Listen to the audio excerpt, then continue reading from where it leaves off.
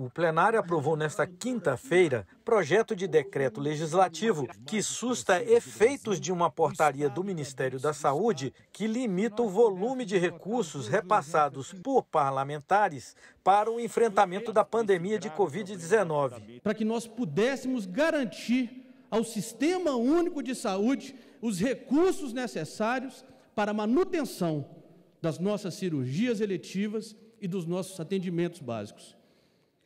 Então, essa casa, mais uma vez, atua de forma firme e direta para que a saúde seja garantida à população brasileira. A matéria, que passa a ter efeito imediato, teve votos contrários. A gente revogar essa portaria, ou a parte aqui dessa portaria que buscava dar mais transparência eh, na execução dos recursos e garantir que os entes que o receberiam teriam capacidade é, para utilizar os recursos é algo que vai na contramão até da própria credibilidade que acreditamos que precisam é, que precisa ser restabelecida no uso de emendas. Segundo o autor da proposta, a portaria do governo poderia inviabilizar mais de 600 milhões de reais de emendas destinadas por parlamentares para atender às demandas da saúde para que as nossas emendas parlamentares, quando nós aprovamos a rubrica 2F01, possam ser é,